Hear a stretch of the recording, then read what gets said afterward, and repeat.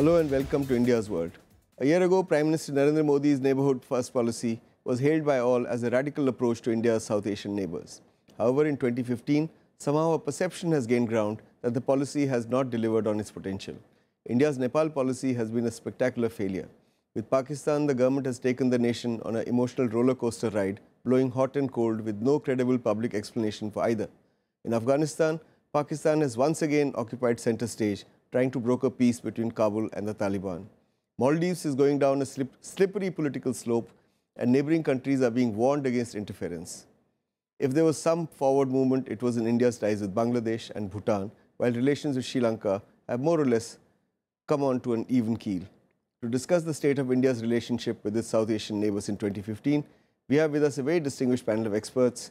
We have with us Ambassador Lalit Mansingh, a distinguished diplomat. He is India's former foreign secretary and has been India's ambassador to the United States and the UAE and High Commissioner to the UK and Nigeria. We have with us Ambassador Kanwal Sibal, a formidable diplomat. He was also Foreign Secretary of India, has served as India's ambassador to Turkey, Egypt, France, and Russia. And then we have with us Ambassador Shivshankar Mukherjee, another distinguished diplomat. He's been India's High Commissioner to the UK and South Africa and Ambassador to Egypt and Nepal. I welcome you, gentlemen, to this discussion. Uh, Ambassador Mansingh, let me begin with you.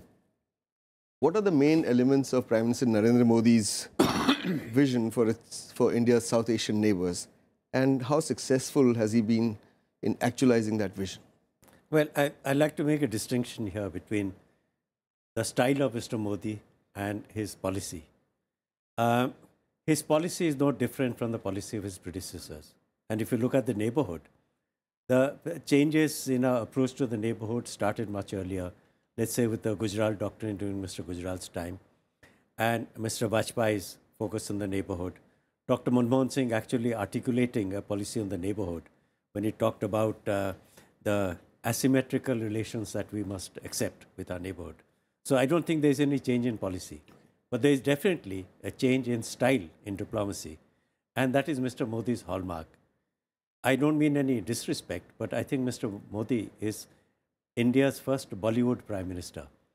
The emphasis on the script, the setting, the crowd scenes, the intimate scenes, and so on, and the twist in the tale. But is it working? Um, I, I disagree that it's a spectacular failure. It is a difficult task. In fact, if diplomacy has to be tested anywhere, it is in our neighborhood. And it's not easy. But he has started well. The only exception, I would uh, agree with you, is, has been Nepal. That's, that's what I call a spectacular failure, not yeah, his neighborhood yeah. policy. But overall, it has begun well and has ended well. Okay. It started, his foreign policy started with a big success with uh, um, Barack Obama's visit to India has ended with Moscow, Kabul, and Lahore. Okay. I think it's a it's a good story. Okay. Ambassador Sibal, uh, you know, sticking to the neighborhood, why is it that whether it is Nepal, Pakistan, Bangladesh, Sri Lanka, or Maldives, during 2015, at some point or the other, uh, India was perceived by them as taking a, a, hard, muscular position against them, legitimizing certain political forces, ignoring others, and trying to meddle in their internal affairs. I, I, don't think it's quite true across the board. I don't think uh, we particularly sought to interfere in the internal affairs of Bangladesh during Prime Minister Modi's uh, tenure. And if at all, the fact that we signed the line boundary agreement and in the process strengthened the hands of uh, Sheikh Hasina is seen as interference in internal affairs would be a wrong We legitimized an election which was boycotted by the main political But that's party. not for us uh, to, to legitimize or not legitimize. We have never undertaken a crusade for democracy anywhere in the world. We have our democracy, we are satisfied with it, we know what its flaws are, and it's not up to us to lecture others on democracy. This has been a consistent policy uh, for a very long time. In the case of Sri Lanka, we tolerated a lot uh, the provocations from Rajapakse uh, without, in fact, um, reacting to it uh, the way uh, the previous government had reacted. And in fact, uh, Rajapakse was invited uh, to the swearing-in ceremony and then visits have taken place. And subsequently, with change in government, we have a better understanding with the Sirisena government. In Maldives, we have not interfered. In fact, some people may say, why are you allowing the situation to drift in the way it is drifting? And you must exert your weight and counsel them and put them on the right path. Insofar as Nepal is concerned, these are very special circumstances, yep. Which we can go into later, why there is a perception And this perception will always remain because the Madheshis are looked upon as semi-Indians or Indians, and there is this rift, internal rift, uh, political, ethnic, and otherwise. And inevitably, India will be drawn open border and stuff. So far as Pakistan is concerned, we have no capacity to interfere in their internal affairs, frankly. So I don't buy the argument that Okay. either that we have had a muscular policy or that we have sought to interfere. Yes, we have reacted strongly in the case of Nepal. And that's the, about the only thing that uh, we have done which could be called muscular. Okay, so let's talk about Nepal, Ambassador Shiv Shankar Mukherjee. Um, despite India's huge relief effort, you know, within six hours of the earthquake, you know, uh, uh, Indian uh, army and uh, uh, uh, supplies on Indian army's uh, cargo planes were there in Nepal. Huge announcements were made for relief, etc. How is it that after such goodwill and such good neighborly relations, when, you know, we find ourselves in a tangle in Nepal? Well, I'll say qu- quite flatly that this is not, uh, not only not a spectacular failure in our diplomacy in Nepal, it's not a failure at all. The fact that, uh, I mean, everyone is pointing to the fact that we had a huge amount of goodwill after we supported democracy uh, in, in, you know, after the King's takeover in 2005. And as you mentioned, the, the enormous uh, effort that we made after the earthquake. But it is internal developments in Nepal that have brought, up, brought Nepal and Indo-Nepal relations to the present uh, situation. You have a situation there where an unholy alliance of uh, the Bahun Chetri Pahari nexus wants to continue its domination over the half of Nepal that is the Madhesh. And we have a perfectly legitimate right to express our opinion on this, a negative opinion on this, because, uh, and this has nothing to do with interfering in Nepal's process or trying to, to, to remote control their constitution, but because the, the Madheshis quite predictably agitate for their rights, rights that they were guaranteed in written agreements starting from 2007 and 2008.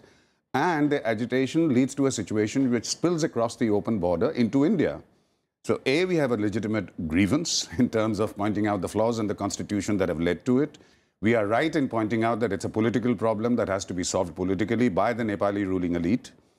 And uh, apart from government statements, the fact is that this is a this is a situation internally in Nepal that cannot stand. Okay. And therefore, what we have done, including incidentally the so-called unofficial blockade, which is a blockade that has, you know, journalist after journalist has uh, have, have been there and, and and seen the fact that uh, in the main crossing points, it's the Madheshi agitation that is doing the blockade. We've also gone the extra mile, and this is on record uh, in terms of you know sending in medicines and so on, in spite of the blockade, at some risk to ourselves, including an offer to airlift medicines if they want. So I would say that it is not only not a spectacular failure, it is a development that happened. It happened because of the short-sightedness and the Yeah, so- and the feeling of entitlement that a certain set point. of people have, I, I think and we have to react to it. You made your point. Uh, it's a it's a point of view which uh, I suppose the government of India would be very happy with. But this is not how.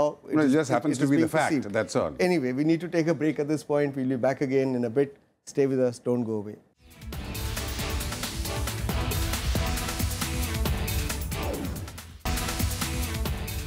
Welcome back. We're discussing the state of India's relations with its South Asian neighbors in the year 2015. You wanted to say something on Nepal. Yes, I mean, uh, I agree. I mean, it's. I don't think Nepal is a is an instance of spectacular failure of policy. I think the policy is sound. The spectacular failure was in in the PR field, in the perception Yeah. that it got in the media. That the, if we had a good story, Yeah. that good story was not reflected in the media. Okay, but the way the story is being perceived, what impact do you think uh, it's having in Thimphu? Do you think it's sending a chill uh, in the hearts Well, of the Bhutanese because they're equally dependent on see, trade and transit it's India? bound to send a chill because the contrast between Mr. Modi's highly successful visit to uh, Nepal twice and then this happening is going to create a problem in saying, is he really the same man who, who, is, who is directing policy towards us? Yes, it, it, the conflict is so obvious that it is going to create uh, problems with our neighbors. But let's hope it doesn't happen with Bhutan because that's one of our uh, time-tested friends. That's right. Yeah, but you know, Bhutan is not uh, following provocative policies. It's, it, to my mind, it is the only country in our region which is following sensible policies towards India, not unnecessarily provoking India, taking the maximum benefit from the India relationship, etc., etc. So there's no reason for them to fear, Yeah. uh, unless, of course, they have the develop the same kind of uh, hostility, political hostility, which is almost endemic in certain classes in Nepal, which is unlikely to happen in, but uh, I in- wanted in to- Bhutan. I want to ask you about Pakistan.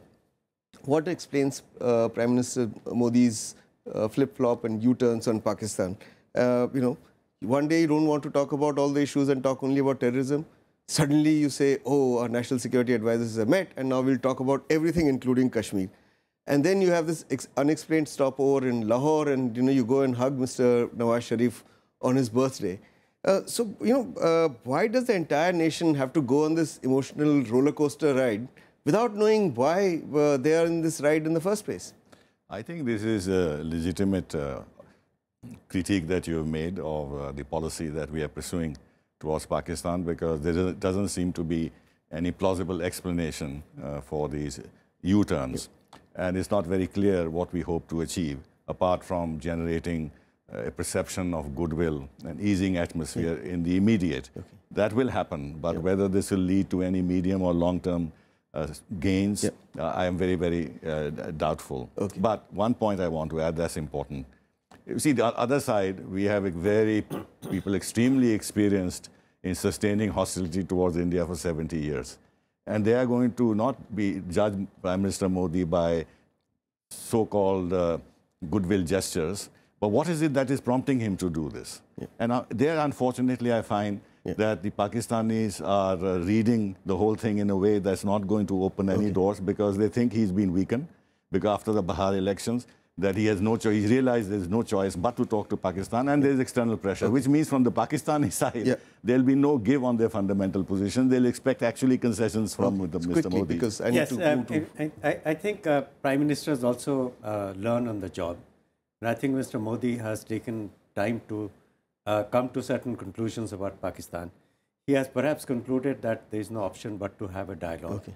And is investing in the dialogue. Okay. So I, I think it's a good move. Right. We have to wait and see what Okay, happens. uh, uh, Ambassador Mukherjee, do you think that Prime Minister Modi has also fallen into the same legacy trap that his that his predecessors did? That he wants to make historic changes and wants to be known as somebody who changed the relationship with Pakistan fundamentally, rather than following a, a, a gradual policy of improving ties and treating Pakistan as a normal nation. I mean, I have never known him to go to Sri Lanka to hug the president on his uh, uh, birthday, or you know, go to Bangladesh on Sheikh Hasina's birthday.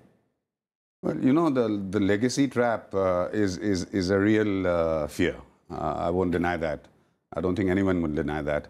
I hope not. And, and I think all of us, all, all Indians who, who worry about the future uh, of Indo Pakistan relations would hope not. I think I'm not really worried about U turns and so on. Uh, foreign policy is a very dynamic thing, international relations are very dynamic. And like Emerson said, a foolish consistency is the hobgoblin of small minds. The only consistent thread in foreign policy, as far as I'm concerned, is the pursuit of national interest. Okay, fair enough. Uh, uh, Sibal, where do we stand in our relationship with Afghanistan? President Ashraf Ghani, ever since he assumed the presidency, uh, has been sort of wanting to improve ties with uh, Pakistan because he thinks Pakistan alone can help him uh, settle with the Taliban. And now, after this uh, Heart of Asia and Istanbul Process uh, conference, the US and China have again put Pakistan at the center of things and told Afghanistan that, look, Mr. Nawaz Sharif is the man who will help you talk to the uh, Taliban. Now, how can India maintain its relationship with Taliban and leverage the investment it has made, not only physical, but uh, in terms of uh, its friendship and consistent friendship with Afghanistan to stabilize that country? Do we have a role at all? No, we have a role, but it's not a, it's not the most important role because we don't have contiguity with Afghanistan. Uh, we don't have easy access to Afghanistan, and we don't want to get uh, drawn into the quagmire there because other powers have experienced uh, reverses in Afghanistan, political, military, security, and otherwise. So the more you get involved in it, the more pressure there would be to help Afghanistan more, and it'll become a never-ending uh, story. That is one aspect. Uh, the uh, other is that um, the, there is now a complete breakdown of trust and, in fact, dialogue between Afghanistan and Pakistan. At the leadership level, President Ghani has actually been very seriously rebuffed uh, in his expectations by the Pakistanis. It'll, be, it'll take a long time to restore that kind of, kind of a dialogue. Does this give us any opportunity to insert ourselves into the process? I think the fact that he visited Afghanistan and made an excellent speech uh, to the parliament and raised all the issues, in fact, quite severely criticized Pakistan's role uh, in, in, Afghanistan. You talk about Prime Minister Modi's speech. Prime in, Minister in Modi's speech. Uh, I think there, there's a signal that we are players and we will intend to we intend to continue to bolster Afghanistan. And the fact that four helicopters have been given, we are moving on supplying military aid is a major step okay. that, that we are taking. So all in all, we have a role, but I would say it's a limited role. You wanted to say something? Yes, uh, as somebody who has served in Afghanistan, I'd like to add my comments. Firstly, we have recovered a lot of lost ground in Afghanistan. And the reason why our relations soured with Afghanistan was partly our own fault because having signed a strategic partnership agreement, we hesitated on giving Afghans what they needed most. What did they need? They needed trucks, helicopters, and so on. And we are reluctant to supply those. Now, uh, also when President Ghani came, he looked towards Pakistan because obviously Pakistan is more important for solving their problems. But President Ghani has also come around to view India as a friend after having been rebuffed by Pakistan and seeing that Pakistan doesn't deliver. So his recent trip actually has made India now a much more important player in Afghanistan than it was in okay. the last couple of years. Okay. All right. We need to take a break again at this point. We'll be back again in a bit. Stay with us. Don't go away.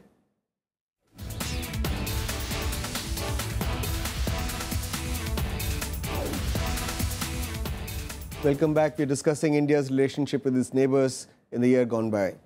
Uh, Ambassador Shivshankar Mukherjee, we say that our relationship with Bangladesh has really flourished this year. You know, the land boundary agreement, right. uh, the handing over of Anup Chetia, uh, connectivity agreements, the $2 billion credit line that India has given.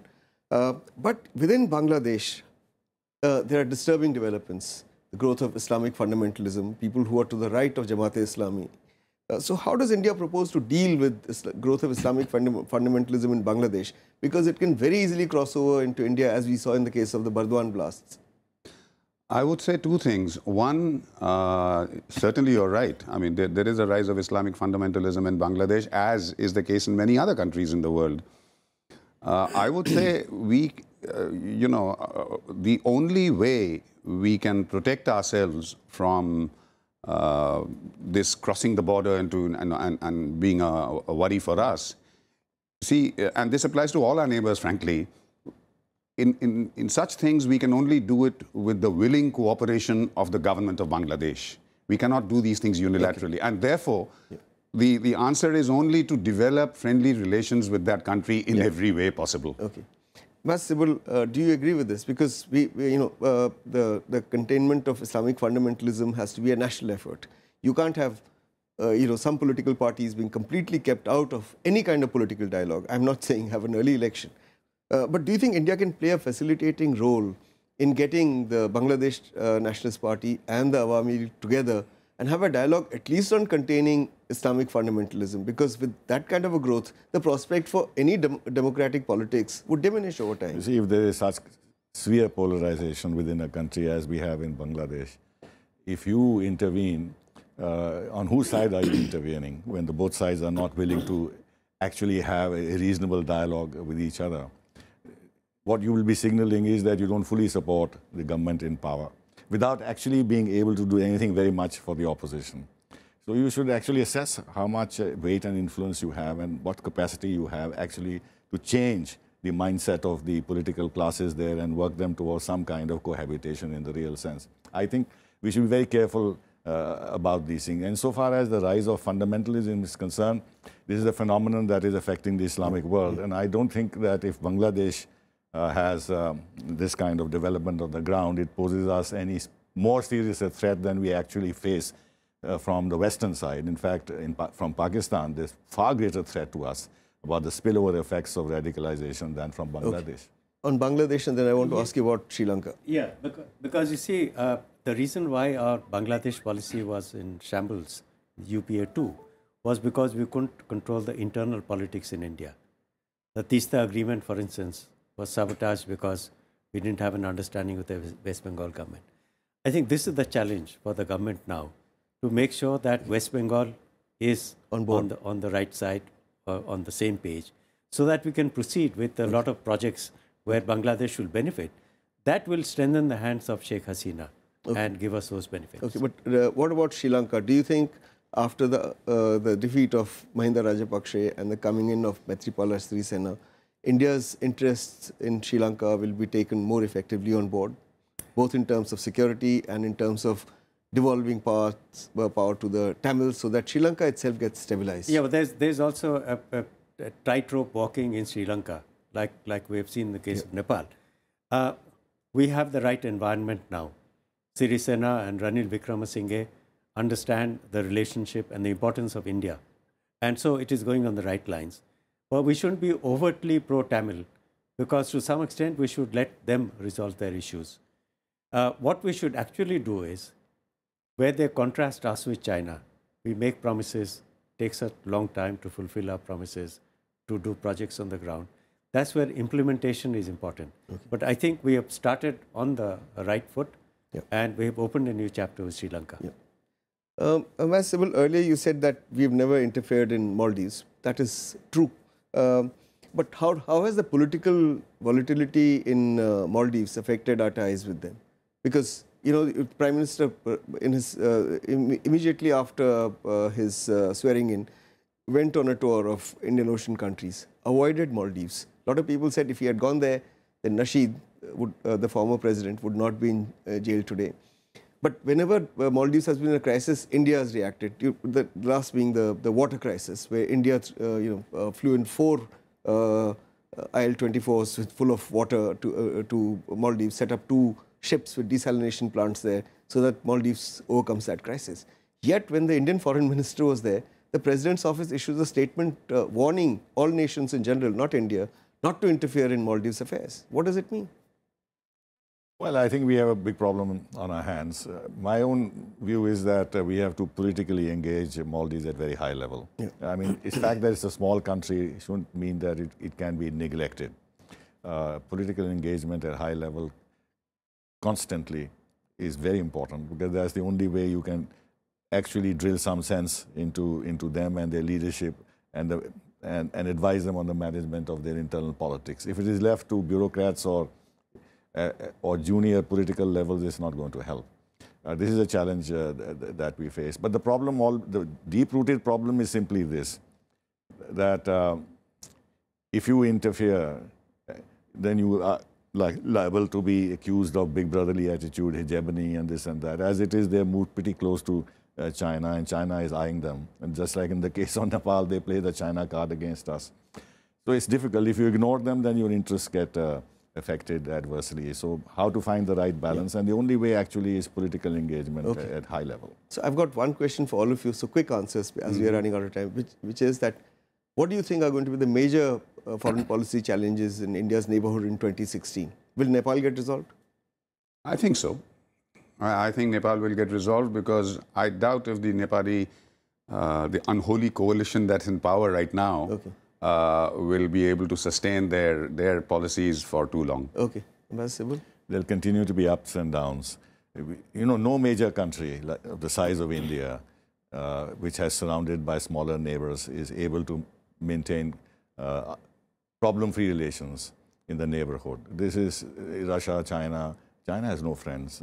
Even United States has difficulties with Canada and Mexico, and of course, terrible difficulties Cuba, Latin America. Therefore, we have to live with this reality, and we shouldn't have this romantic notion that we can manage our neighborhood, or that is absolutely necessary for us to become a big power. All the other countries have become big powers with difficulties in their neighborhood. We can live with the problem. Okay, what's your what's your Well, I, I think number one, we should stop being coercive or openly coercive in relations with our neighbors because no matter whether you're right or wrong, the perception will be that you're bullying them. I thought we spent half an hour discussing that we've not been coercive.